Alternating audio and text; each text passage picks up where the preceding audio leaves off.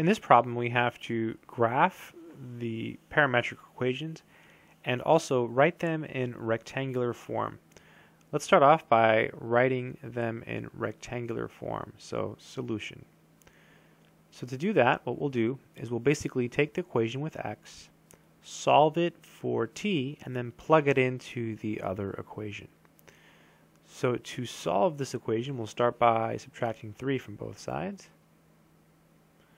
These cancel. So we end up with t equals x minus 3. Now that we have t, all we do is take it and plug it in here.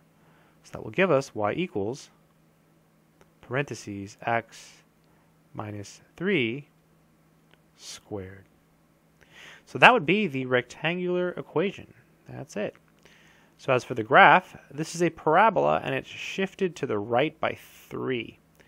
Remember, if it's x minus 3, you go right 3. If it's x plus 3, you go left.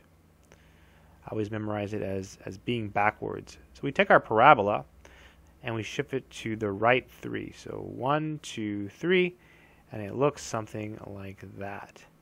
So the only thing left to do is to find the orientation. So to do that, we make a little table with t, x, y.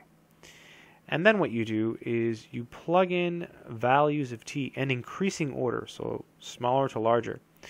And that will give you the orientation. Um, let's plug in 0 and maybe 1. Nice easy numbers. So plugging in 0 for x, it's going to give us uh, x equals 3. And plugging in 0 for y, it'll give us 0. Because 0 squared is 0. So when t is equal to 0, oh, we're right here. Okay, interesting. So we're right here. When t equals 0, we are right at uh, the vertex of this parabola. And when t is 1, we get 1 plus 3, so that's 4.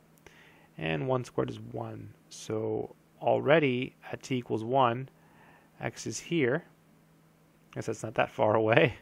Uh, and y is here. So this corresponds to t equals 1. So it must do this, right? It must go in this direction, and that is the orientation. I hope this video has been helpful. Take care.